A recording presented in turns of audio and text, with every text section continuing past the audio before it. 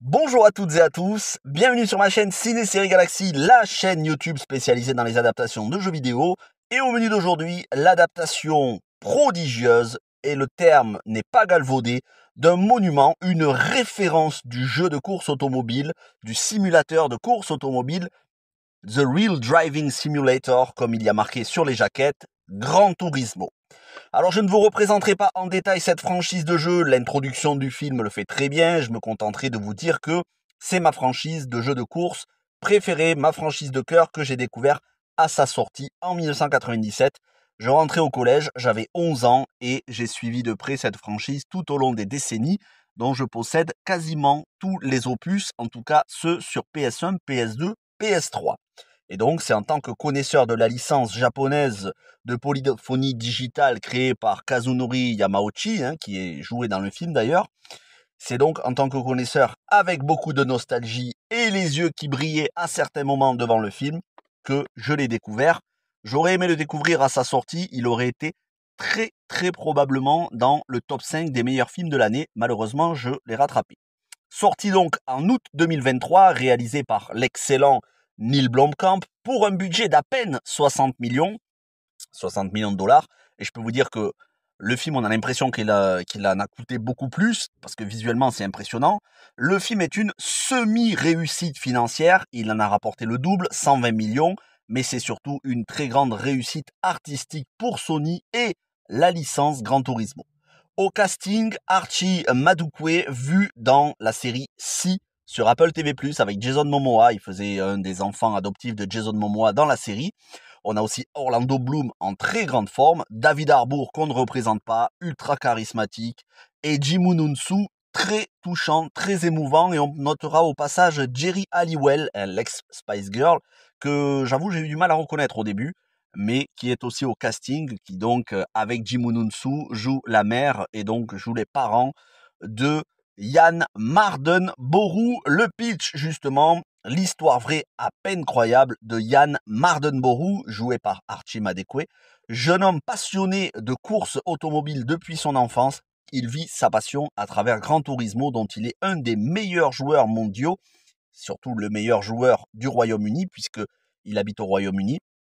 Et à défaut de pouvoir y jouer dans la vraie vie, bah, il passe énormément d'heures quitte à s'acheter les derniers volants pour être le plus réaliste possible. De l'autre côté, on a Danny Moore, joué par Orlando Bloom, qui est un commercial pour Nissan et qui va essayer de convaincre la branche japonaise de Nissan d'organiser un concours de Gran Turismo qui leur présente comme le meilleur simulateur de course au monde pour sélectionner les meilleurs pilotes virtuels et donner la chance à l'un d'entre eux, le meilleur, de devenir un vrai pilote dans la vraie vie sur les vrais circuits pour Nissan, avec tout le danger et les responsabilités que cela représente.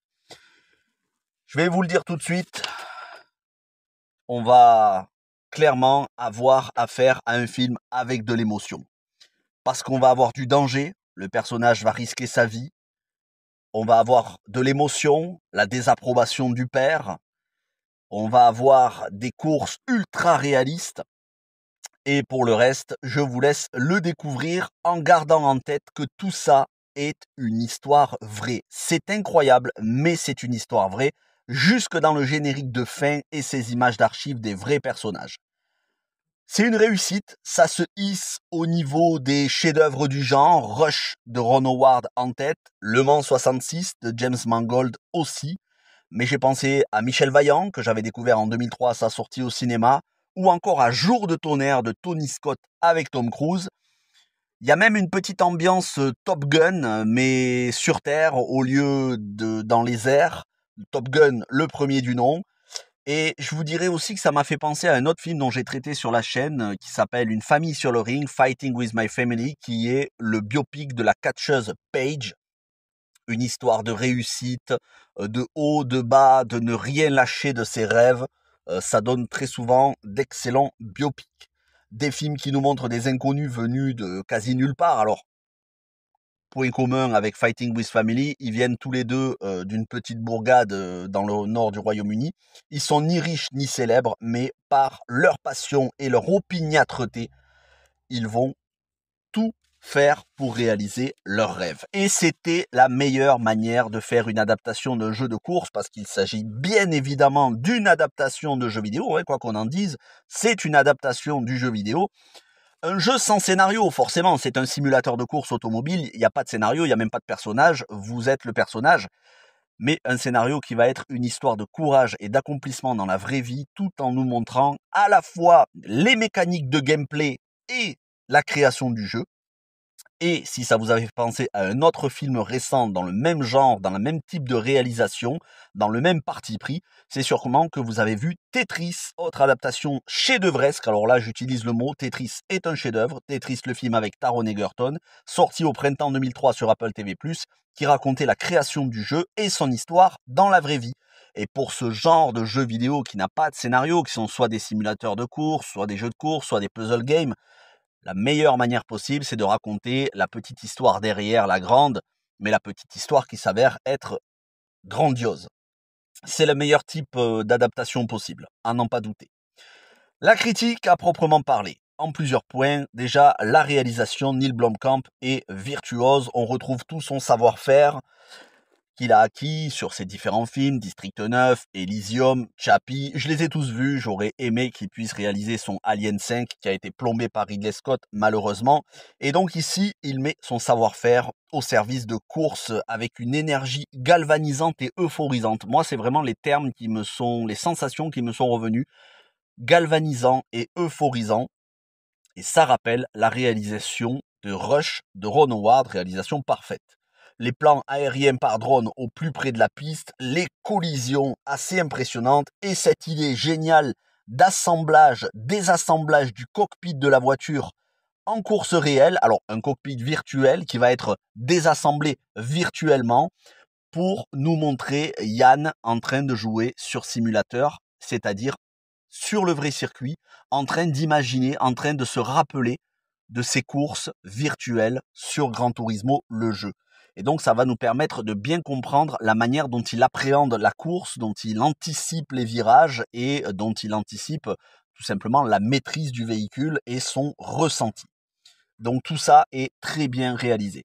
Au niveau acting, c'est irréprochable. Tous, tous sont impeccables. Mention spéciale à Jimununsu en père aimant qui ne sait pas dire à son fils combien il est fier de lui et en même temps qui a peur pour la vie de son fils, parce qu'on n'oublie pas que la course automobile, c'est un jeu de mort quand même. Hein. Euh, on, peut, on peut très très vite mourir. Et euh, Jerry Halliwell n'est pas en reste, elle fait sa mère. Les deux sont, euh, sont assez vraiment émouvants. La musique de Lorny Balfe, élève d'Anne Zimmer, qui s'est récemment brillamment démarqué avec les bandes originales de justement Tetris, mais aussi Donjons et Dragons 2023, un des meilleurs films l'année dernière, ou encore Mission Impossible 7, ça apporte gravité et émotion, ça renforce le côté euh, euphorisant, galvanisant des courses, en particulier le Nürb, le Nürburgring et Le Mans, puisque on va avoir les circuits du Nürburgring et du Mans. Alors, c'est des circuits qui sont reconstitués. Alors, il y en a certains qui sont réels, il y en a d'autres qui ont été reconstitués avec différents angles de caméra, mais ils, paraissent plus vrais que nature. D'ailleurs, euh, pour moi qui ai joué énormément au Gran Turismo et dont le Nürburgring était mon circuit préféré, je me suis surpris en tant que gamer avec toute la nostalgie de, me dire ah ben j'étais collégien quand je jouais à ça. je me suis surpris à, me rappeler certaines portions du circuit et à anticiper certains virages. C'est vraiment très très bien, vraiment très bien reconstitué. Je continue en vous disant que certaines, euh, voilà, certaines portions du circuit euh, sont, vraiment très réalistes, mais euh, n'oublions pas qu'il y a quand même quelques différences avec l'histoire vraie. Ici, l'action se déroule en 2022. On voit d'ailleurs une manette PS5 et Gran Turismo 7 25e anniversaire dans la chambre de Yann. Or, dans la réalité, Yann Mardenmorou s'est entraîné sur les Grands Turismo sortis sur PS3 puisque son histoire, son récit s'est déroulé au début des années 2010, 2010-2011.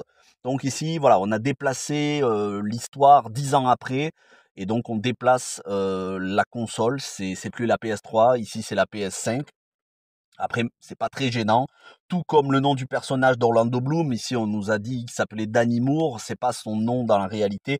Ça a été modifié. Mais c'est franchement pas très grave non plus. Pour le reste, c'est la réalité.